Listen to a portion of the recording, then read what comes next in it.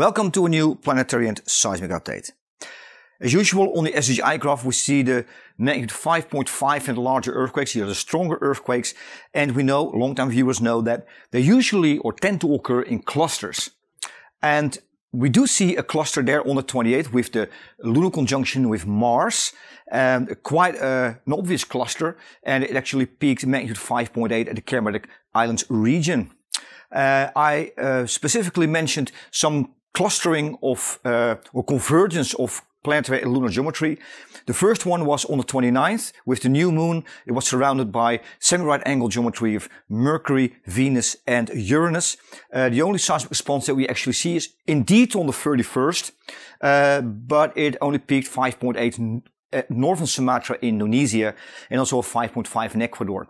And the second convergence that was uh, on the uh, first second of uh, February uh, with Earth in a conjunction with Venus and Neptune. You may have seen uh, actually the moon and Venus in the night sky together.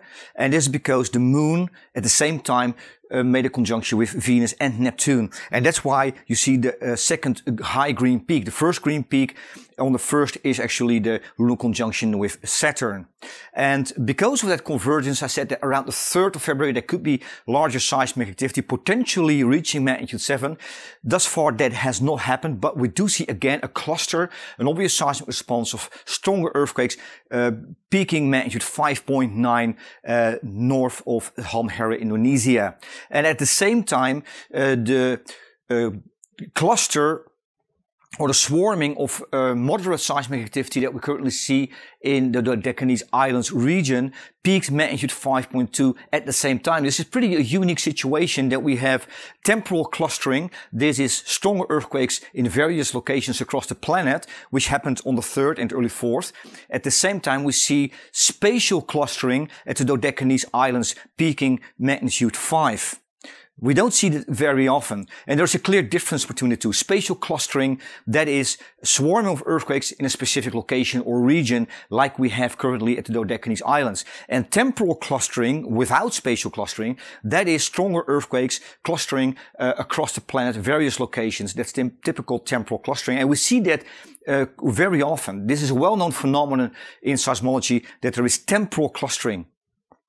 Okay, that's the seismic activity that we had so far. Yes, the Dodecanese Islands is currently very active. And uh, is there going to be a larger earthquake in the short term? Nobody knows with certainty because it depends on the stress levels in Earth's crust.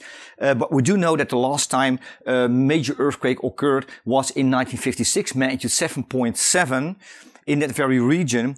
Uh, so the region is capable of producing larger earthquakes, but they don't happen very often. I will do uh, additional special update about the Dodecanese Islands um, as soon as possible. So let's get on to the uh, coming time frame from the 5th to the 14th of February. And um, we have uh, mostly lunar geometry. However, uh, yesterday night we did have one planetary conjunction. That is a Mercury, Sun and Mars and that can result in a stronger shake uh, within about two days from that uh, conjunction. So that would be uh, on the 6th or 7th, possibly with the lunar conjunctions that we have Uranus and Jupiter. Um, it could peak um, on the 8th following the Jupiter conjunction, uh, and that could that could be a, a, six pointer in there. Actually, we have a higher lunar peak on the eighth with uh, Neptune and Venus, right angle geometry, but they're on the same side of the solar system. On one side, this is not opposite right angle geometry, so I don't expect much from that lunar peak, to be honest. Uh, and then we have uh, small convergence there: Mercury, Sun, Earth in a conjunction uh, and uh, Earth, Moon, Mars in a conjunction, and that could result on in uh, seismic response uh, peaking around the 11th. At the end of the SSGI graph, we see a obvious convergence of lunar and planetary geometry, and that could result in a stronger seismic activity, um, typically the, the, the, clustering of stronger earthquakes uh, at the time and following that convergence, and it could possibly peak uh, around the 16th, give or take one day, and that could be a higher 6 to 7 magnitude earthquake.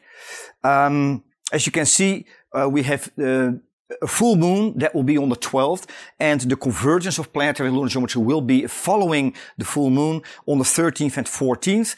Uh, we have the typical semi-right angle geometry of Mercury, Venus and Neptune and uh, also uh, semi-right angle geometry at the same time with Mercury, Mars, Neptune. This is very uh, significant uh, geometry and also we have uh, Mercury, Earth, uh, Uranus at the same time in a right angle.